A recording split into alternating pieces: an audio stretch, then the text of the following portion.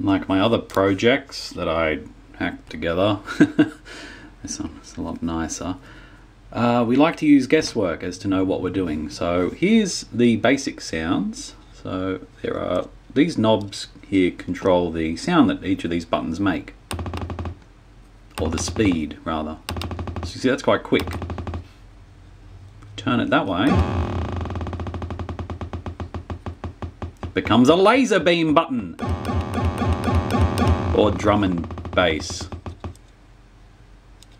What's this one? Oh! Noisy.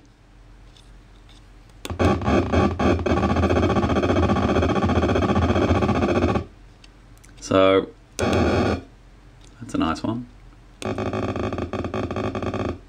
Does that sound like someone exploding in scorched earth? It does, doesn't it? I like that one.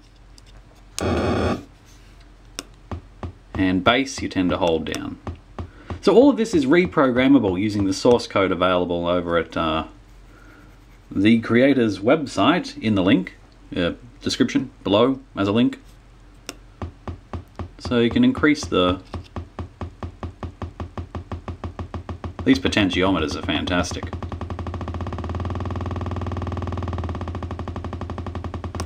But now the beauty of it is, is that it's also got a sequencer built in.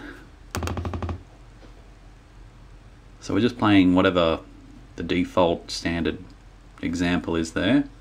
Turn the tempo up, that's the tempo knob over here. Don't know what it's doing.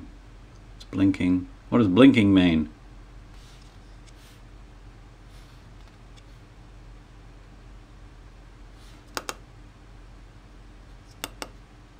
Oh well, let's just... I don't know what's happening.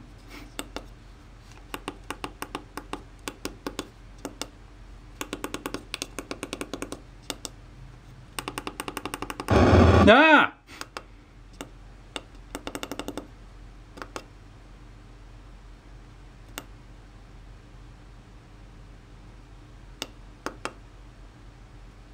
I don't know what's happening. Oh, I'm still in some sort of programming mode. Oh, okay.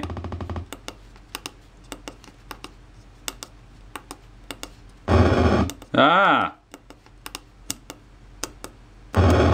Whoa.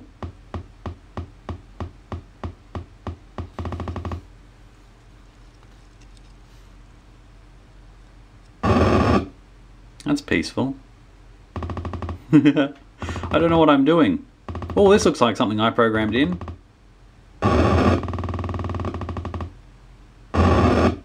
This needs to sound like lasers. There we go. Look at me, I'm at a drum and bass convention.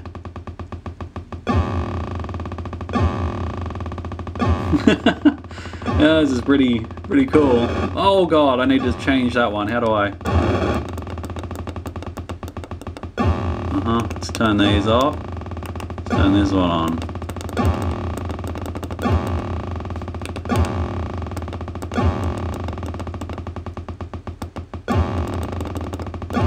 I think that's right.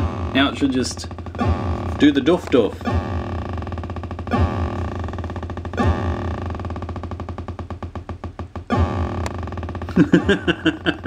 this is fantastic. Okay, let's add in something else that isn't just that one noise. Let's add in... Does add in these, this little bass line here?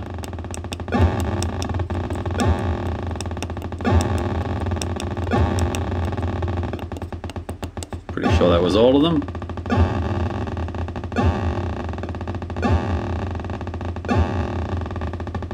Now you got to remember, by no means am I a professional DJ.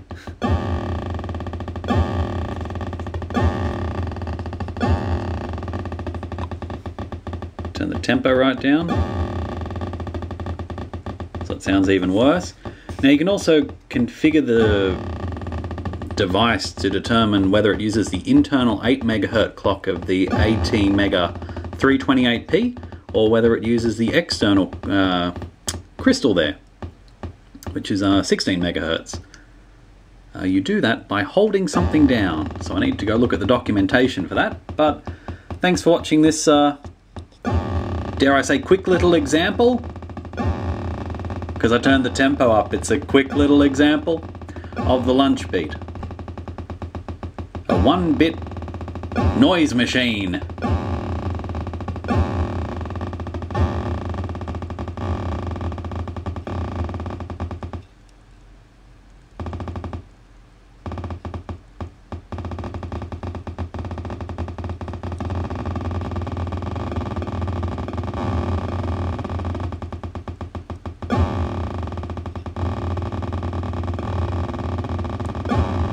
Oh, this is hours of fun. I'll be sure to make a video when I actually make something that doesn't sound like a laser beam being fired next to a Geiger meter, Geiger counter. it works! I programmed the sequencer!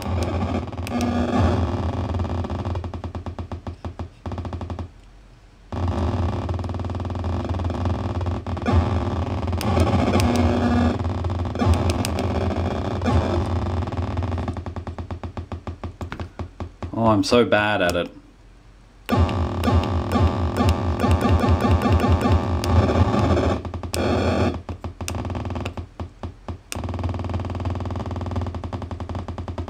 Tempo works. Everything works.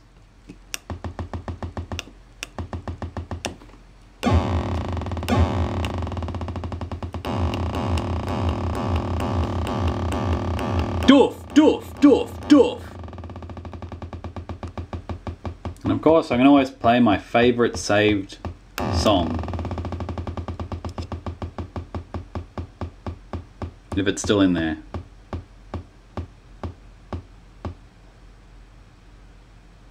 Still there, or is it gone? Whoa. Oh, the tempo's right down.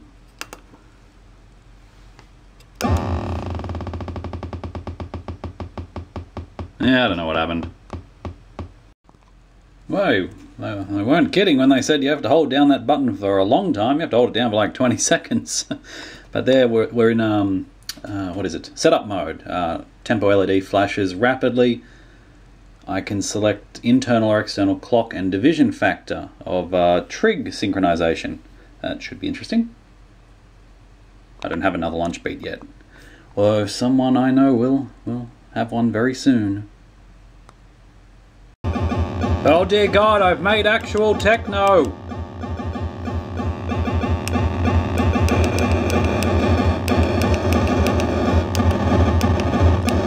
Yeah!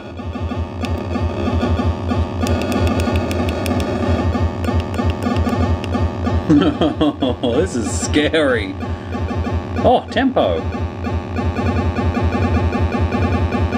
Oh dear God, that turns the tempo up. Is my switch on backwards?